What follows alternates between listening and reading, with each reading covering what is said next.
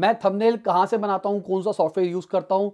मैं अभी तक जितने भी थंबनेल्स बनाए हैं, मैंने फोटोशॉप पे बनाया है, मैं फोटोशॉप से ही बनाना पसंद करता हूँ।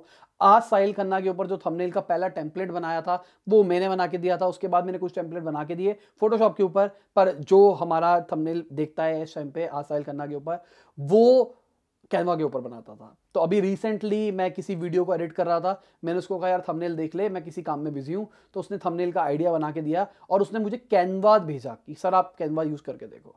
कैनवा में कोई लिंक शेयर किया तो उसमें वहाँ से वो एडिट कर रहा था, यहाँ से मैं एडिट कर रहा था, मुझे मज़ा आ गया वो चीज़ देख के। मैं कहा, भाई, ये क्या चीज़ है? तो मैंने कैनवा अभी रिसेंटली परसों ही मैंने कैनवा प्रो खरीद लिया। तो अब एक साल के लिए मेरे पास आ गया है तो अब हम उस पर भी एडिट करेंगे। तो अगर आप सोशल मीडिया ऑन्टरप्रीनरशिप के कुछ वीडियोस देखते हो तो अभी तक जो थंबनेल आ रहे हैं, वो सारे के सारे कैनवा से आ रहे हैं और मेरे हिसाब से कुछ अलग ही आ रहा है। मुझे अच्छा लग रहा है, मुझे पर्सनली अच्छा लग रहा है, बस अच्छा लग रहा है तो बस अच्छा है। आपको कैसा लग रहा है आप बताओ।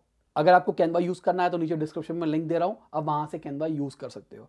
फ्री वर्जन यूज़ करो स्टार्टिंग के अंदर। कल को आपको पेड लेना होगा तो पेड लेना, पर मैं रिकमेंड नहीं कर रहा। फ्री वर्जन के अंदर भी बहुत सारी अपॉर्चुनिटीज़ है, बहुत ज़्यादा कुछ कर सकते हो। डिस्क्रिप्शन में लिंक है।